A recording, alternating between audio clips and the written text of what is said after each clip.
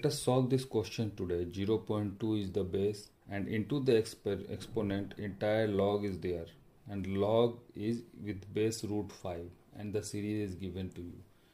Let us solve the series here. What is the value of this?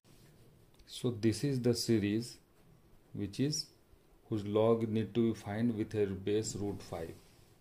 If 1 by 4 is taken as common, we are left with and here you can see this is a GP with a common ratio of 1 by 2 just write 1 by 2 divided by 1 this will give you the common ratio as 1 by 2 and when the third term will be divided by second term this will again give you the common ratio 1 by 2 so the value of common ratio will be 1 by 2 for this series of GP and sum of n terms of this GP where n is infinity right can be written as a by 1 minus r because r is less than 1 1 by 2 is less than 1 right?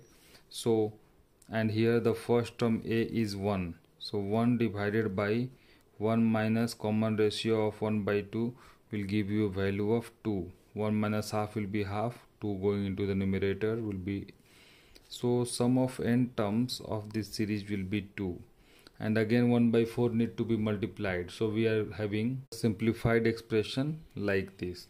And here this will divide 4 in 2 times.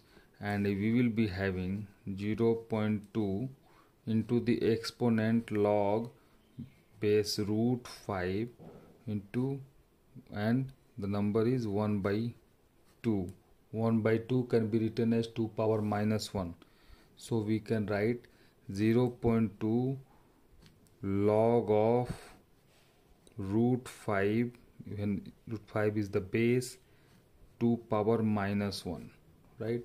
Let us assume this as equal to k and take log into both the sides of this equation.